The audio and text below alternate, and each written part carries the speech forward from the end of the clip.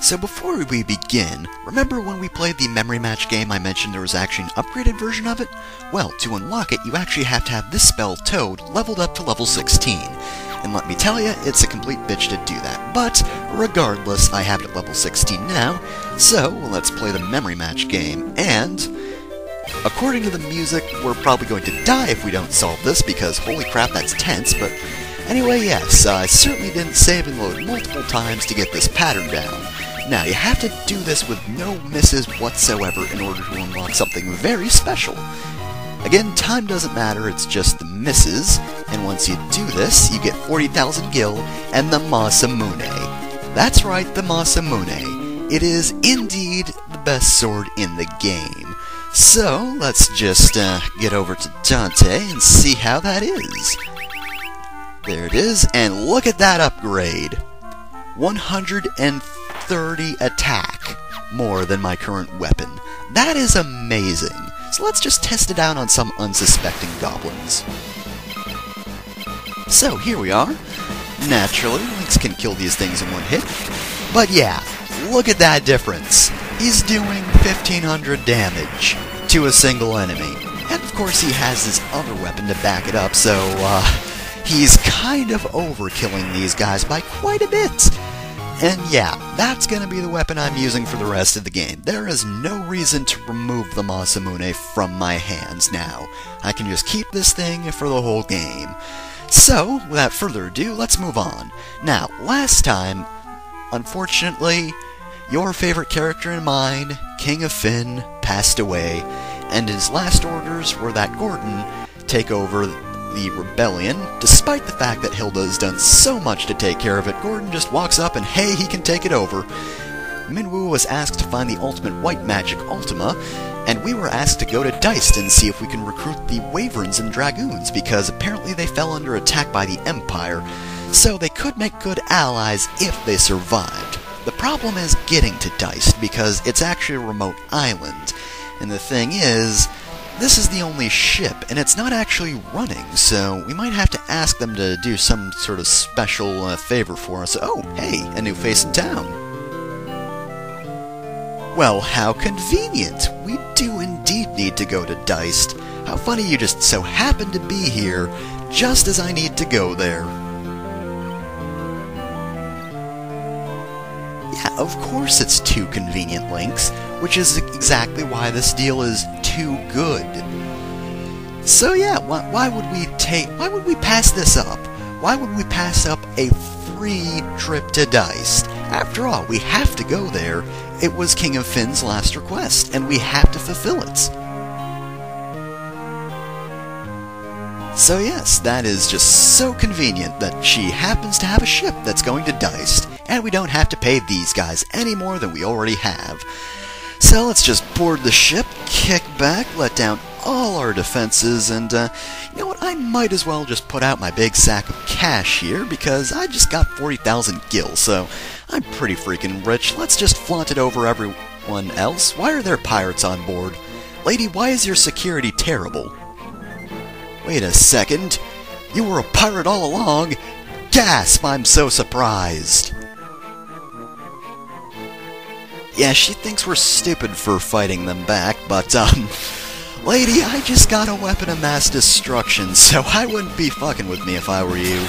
Anyway, yes, these are pirates. They suck a lot. I'm fairly certain their stats are comparable to goblins.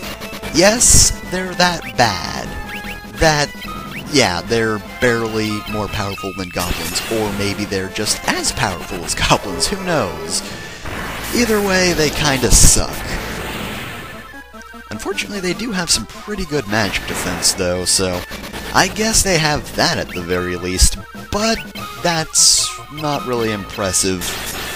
Their physical attack sucks, they die in one hit, just... I, I feel for them. I feel really sorry for them.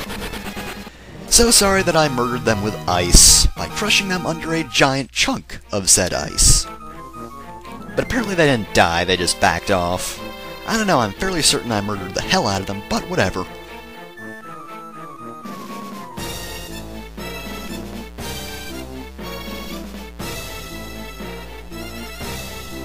And for some reason or another, we decide to recruit the lady that just tried to murder us and steal our stuff.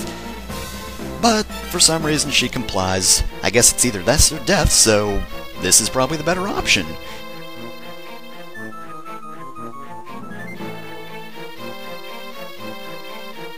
And with that, not only do we get a ship with which to roam the seas, we also get Prototype Ferris to join our party.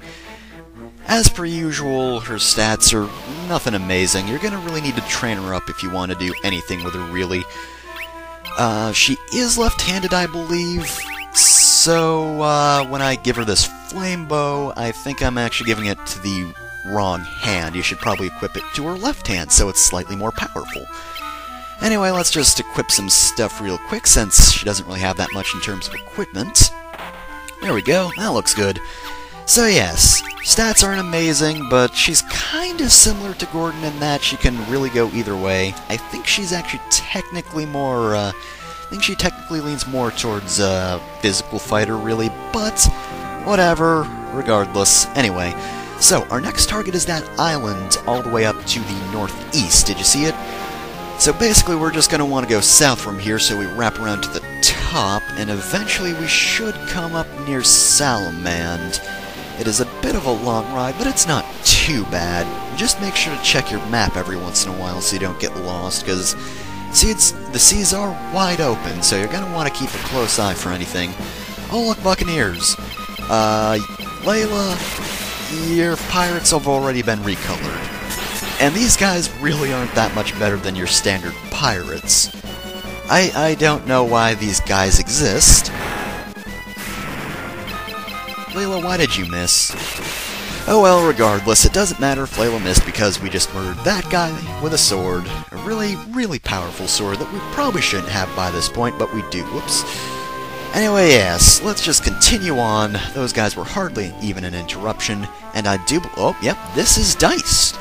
We've made it to the island, so, uh, there's no real good docking points. Can't get that close to Deist Castle, so this is where we're gonna have to lay anchor and move out. But it's not too far out, it's right here. And unfortunately, this place isn't looking to be in a good condition. So it does indeed look like the Empire succeeded in their attack, but... Oh shit, this kid's gonna tell his mom. Well, guess we have to turn back now. Ooh, treasure chest.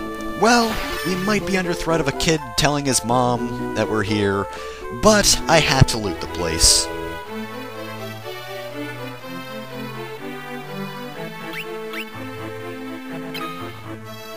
So it does indeed seem like this area was hit pretty badly. But there is a Wyvern in there. Oh. Fortunately, it's gonna die soon. That's not good.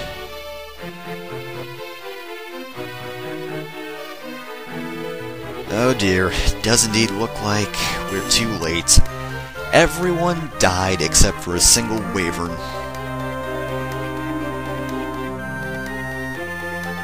And unfortunately, we can't speak to the Wyvern either because we actually need a special item to do that. I suppose we'll just ask about the Dragoons and Wyverns. Oh dear. So it wasn't even really a full-on attack. Most of the Wyverns were poisoned and the Dragoons followed.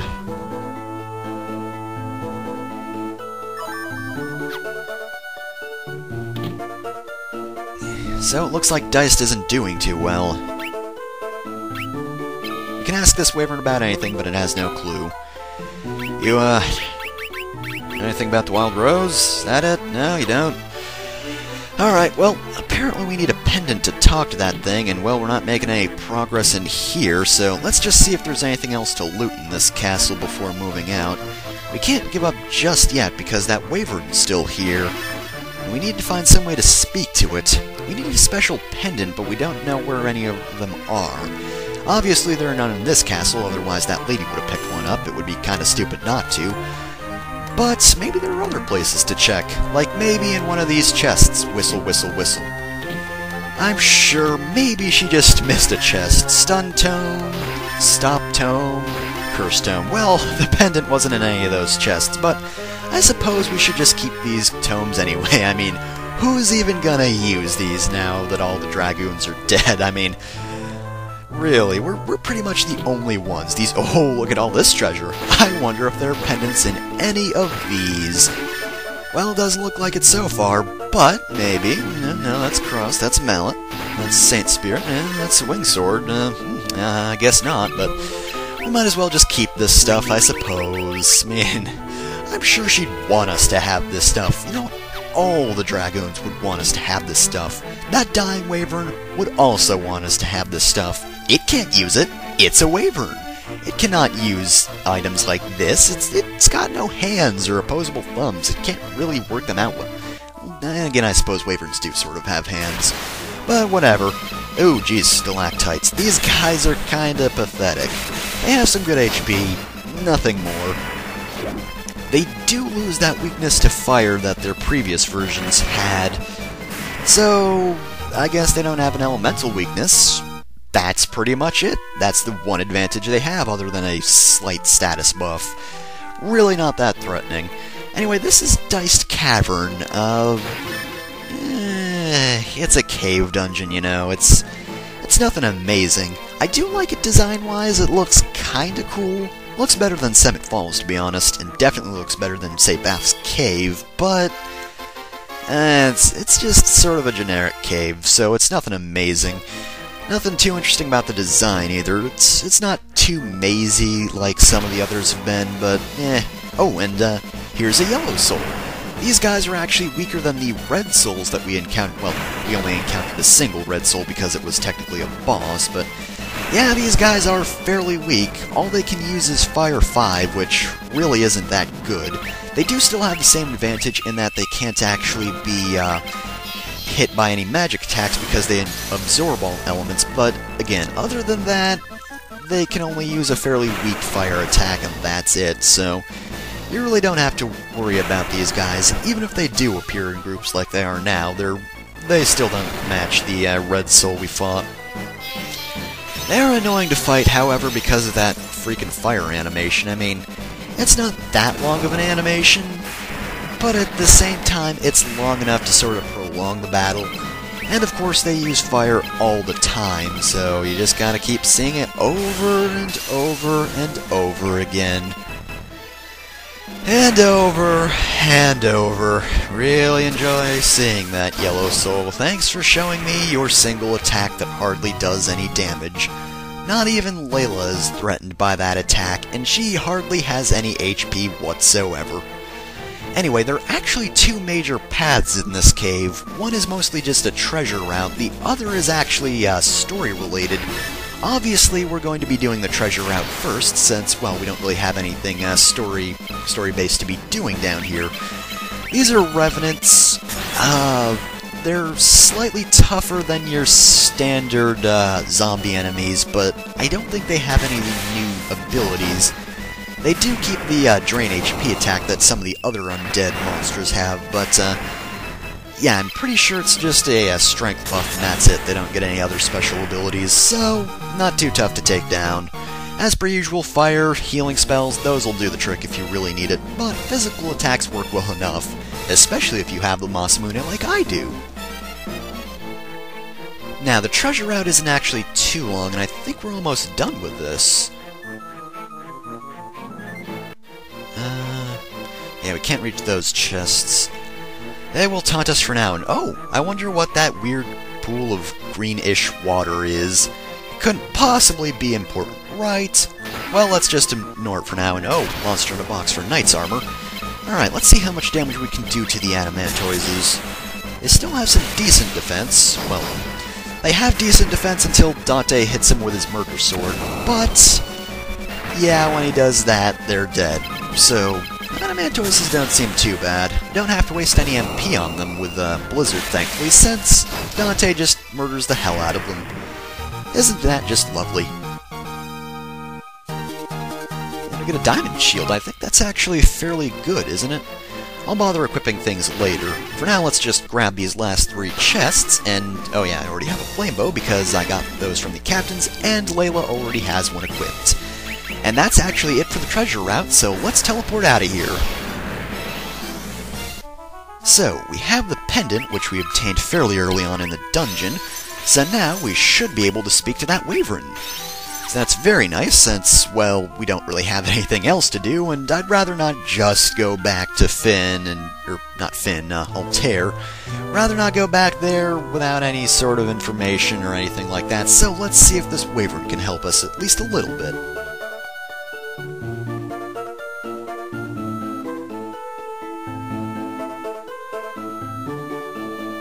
That would be the green pool we saw that we didn't get to uh, actually go to on our route. So let's talk to this Wyvern.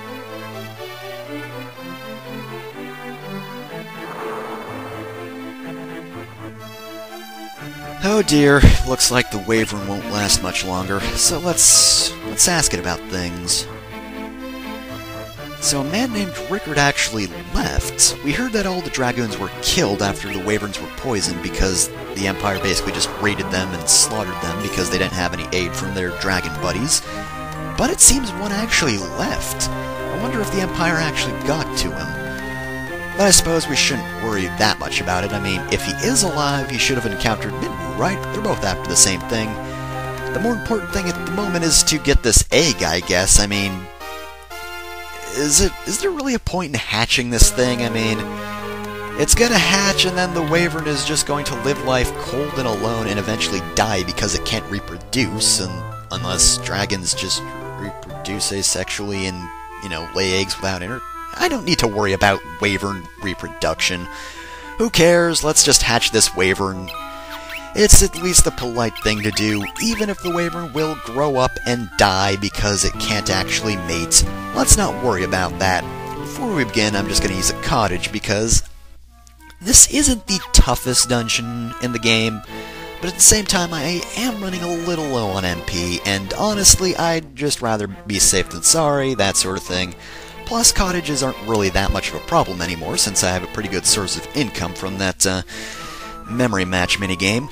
Anyway, now we're actually going to go on the proper route, which also has plenty of treasure, but, of course, we need to come this way to, uh, get to that life spring and hatch this wyvern egg so we can, you know, again, grow a wyvern that will die alone. So, um, the treasure here isn't amazing. We get mithril equipment and, oh geez, uh, of course we've seen Helgigis's before, but they are pretty tough, as we, as you should remember. Actually, that's not too bad.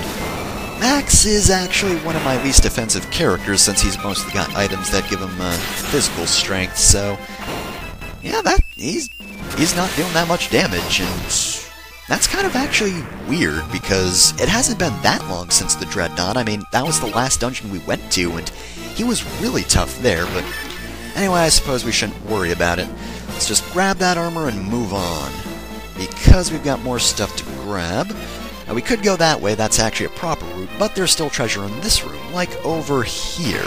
Could get this mithril helm, and as I was saying, mithril equipment not really too good unless you didn't get anything for uh, Layla, because it's slightly better than her starting equipment, but that's...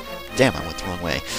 Uh, but that's pretty much it. It's it's not really that good by this point. It's still the best armor you can buy at the moment, but not much more than that. Oh, hey, Green Souls.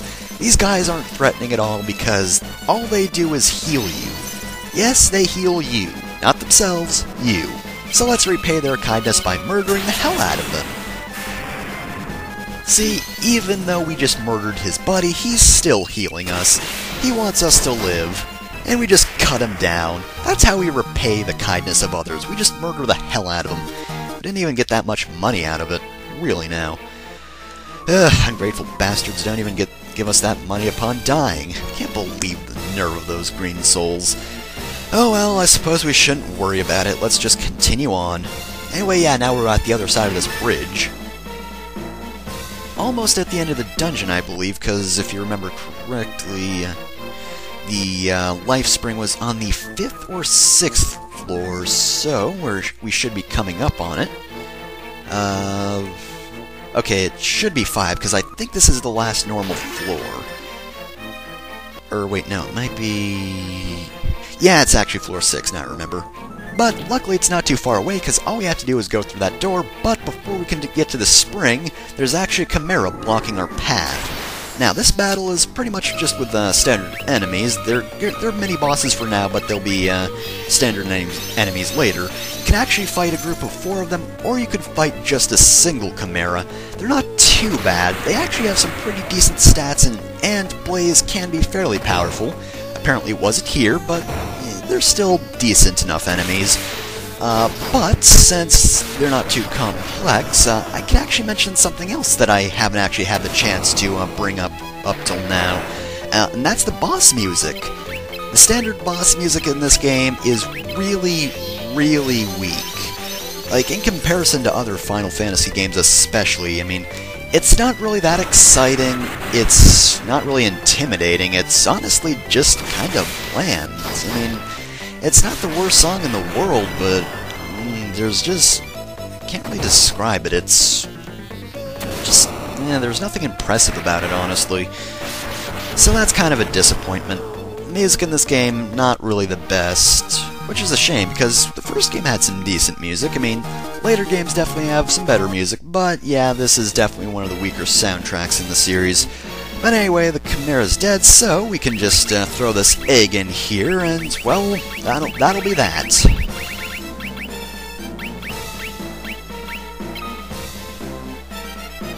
Nod to the rest of the party for some reason, just toss that in there.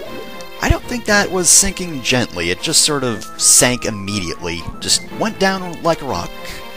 But anyway, that's that's the egg in the life spring, and that's all we had to do, so let's leave fulfilled our duty, and I guess that's the best we can do.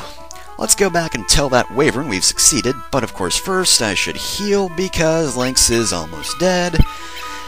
Teleport drains the life out of you because it's dumb like that. But let's not worry about that, let's just move on.